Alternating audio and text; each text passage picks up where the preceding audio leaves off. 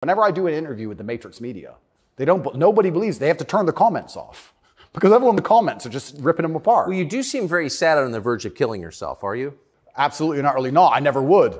And and that's what you said that. I know. I have to keep saying it. I have to keep saying it because it's it's scary, right? But I, I believe you get three lives. I think they cancel you initially, and then when that fails, they try and put you in jail without a reason. And if that fails, there's only one option left after that. That's right.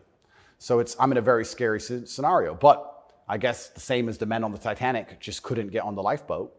I just can't stop saying what I believe to be true. If a young man comes to me and says he's depressed, I'm going to tell him how to become a kind of man who's proud of himself. And if that makes him the kind of person that resists slave and slave programming, I'm always going to be public enemy number one. You've said depression isn't real or it's not as the way we describe depression isn't accurate. What, what do you think of depression? When I say depression isn't real, what I'm that really upset the world, especially the liberals, because they all live on medication, right? When I say depression isn't real, I'm saying that because I don't believe in things that can take away power from me. If I believed in depression, I would have been depressed in jail. But I can't be depressed if I don't believe in it. If you don't believe in ghosts, how can you be haunted? You have two people in a, in a haunted house.